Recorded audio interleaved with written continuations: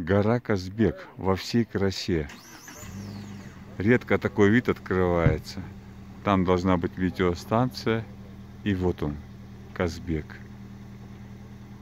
То открывался сегодня, то закрывался. Мы находимся у крепости, у церкви Гергети. Высота 2200 метров. Последний день лета. 15 градусов. Время полседьмого вечера. Можно сказать, нам очень повезло.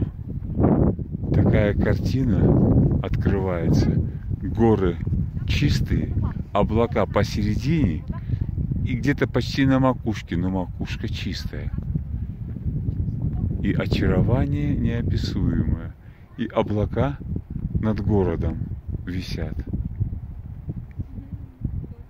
Мы только что были в лесочке. Вот здесь вот, на верхушке этого лесочка были.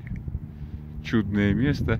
Любовались сначала Гергетти, потом его закрыло туманом, облаками. Думали, ехать, не ехать. Вот приехали, а тут чисто. Распогодилось. Как по заказу, а? Как будто Бог рядом находится, наблюдает и говорит, ребята, вы заслужили. О, и Казбек открылся, а? Белая шапка. Вы заслужили. Действительно. Смотрите, любуйтесь. Так оно и есть.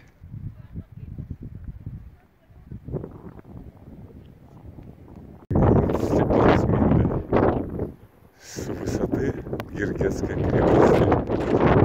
Этот город является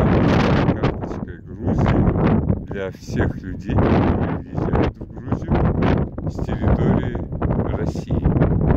Первый населенный пункт и первый населенный пункт, это, конечно, Степан Смит, первое впечатление о Грузии. И вот крепость церковь Гергети. С этой точки все это снимается. И я сейчас покажу Казбек, пока он виден. Вот величественный Казбек во всей часто он личико открывает. Церковь пророка Ильи в Степан Сминде, бывший Казбеге, возле горы Газбеки.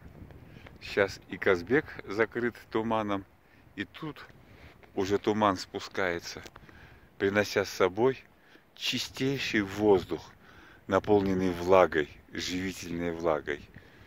Подышать этим воздухом одно наслаждение – Правда, и Степан Сминда закрылась, и э, храм Гергети на противоположной стороне, стороне тоже закрыт. И видимость буквально вот исчезает прямо на глазах.